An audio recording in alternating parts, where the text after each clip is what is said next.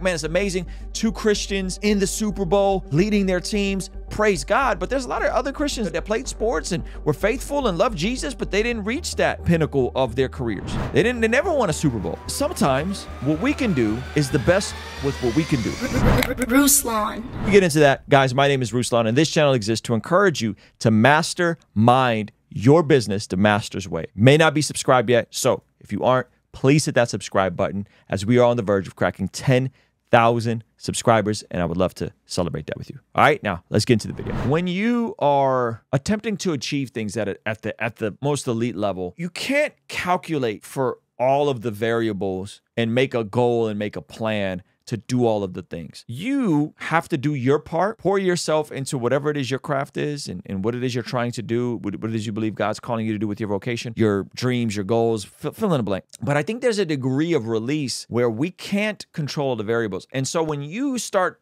setting goals based on outcomes and not inputs that's when you that's when you exhaust yourself and play yourself. This is what i mean. If you have a specific financial goal you're consuming yourself with the goal. You have a specific fitness goal. You're consuming yourself with the end result. Because you can't control all of those things. You can't control certain aspects of the economy. You can't control certain opportunities that may be presented to you. You can't control how many sales you'll make all the time. It's a numbers game. So what do you control? You can control what you can control. You control the controllables. You can control the inputs you can control the inputs. The outputs ultimately belong to God. Meaning this if you want to grow a garden, you have to go out, pull the weeds, plow the land, plant the seed. If you have irrigation, water the seed. But ultimately, God has to make things grow. Ultimately, God has to send the rain, send the sunshine. And then the growth still has to happen. You can't control any, everything. And I think when we become outcome driven instead of input driven, we play ourselves because you can't always control the output. So I say all that to say, I'm thinking of these guys, and it's like, man, it's amazing. Two Christians in the Super Bowl leading their teams.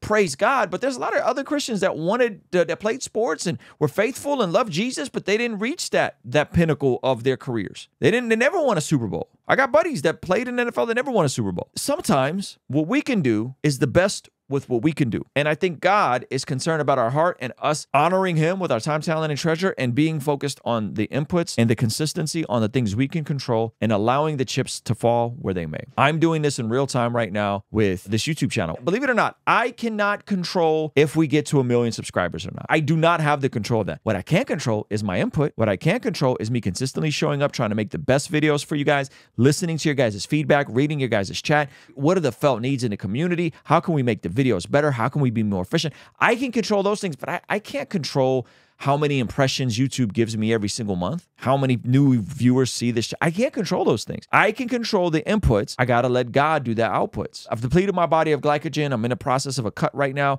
I'm trying to get back down to 170. I'm in the 170 club today. Super excited. There's certain things that I may not be able to control my body as I'm, I'm about to turn 40 this year, right? There's my metabolism's changing. It might be harder to get back down to 170. Certain things I can't control. But I know this. I know this much from YouTube and from fitness, if I do my part, if I control the controllables, usually the needle moves and usually things happen and things change. As you're going forward and say you have dreams and you have goals and you have these big ideas for 2024, do not obsess yourself with the outputs. Obsess yourself with the things you can control and walking with Jesus every single day and break those down into daily non negotiables. What are those non negotiables daily? What are those non negotiables weekly? For me, the daily non negotiables are getting in the word, getting in a prayer, being in the gym, following the meal plan my coach laid out for me, being here to stream. I'm trying to do something daily, re- music related, right? Spend, spending time with my family every day. Those are my daily non negotiables. I also have weekly non negotiables. Weekly non negotiables. I go to church every week.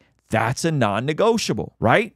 So there's weekly not weekly non-negotiables. I shoot videos for my music every week because I'm, I'm getting the music off the ground. How weekly non-negotiables. Then you have monthly non-negotiables. We give to our church once a month. Every time we get paid, once a month we give to our church no matter what. We give to our local church. That's a monthly non-negotiable. So if you break your days, weeks and months into daily, weekly, monthly non-negotiables and you do those inputs, I think God got you. Now it may not be you at the Super Bowl living your wildest dreams and uh, you know, because both of these dudes love Jesus. Do you see what do you see how this is connected? Both of these brothers love Jesus. Does God have a favorite and a pick? I don't I don't know how that works. The providence of God is he is, is obviously God's all knowing, all powerful, so He knows who's going to win the Super Bowl. both of these brothers want to win the Super Bowl, right? I don't think either one of them are more loved or more favored. So I don't know how that's going to play out. So they both can't be number one. They both can't be at the elite of the elitist level, right? Of their craft. But what they're gonna do is they're they're putting in those inputs and you know, where the chips fall is where the chips fall. And by the way, you know, Ricky Bobby, like if you're not first, you're last, like that's stupid. It's okay to be number second. It's okay to it's okay to be the second best quarterback in the league. That's okay too, right? All things to the glory of God. So, anyway, hopefully that encourages you guys this week. Focus on your inputs, focus on your daily non negotiables, your weekly non negotiables, your monthly non negotiables. If you focus on those, you may not control how things play out, but if you do those the right things long enough over a long enough time horizon, I think you'll be so much for watching that video. Guys, I believe that one of the best ways you can build a business is by first building a platform online. So, Zach Sparazzo put together a free training for you to learn the number one metric you can control to help improve your online presence.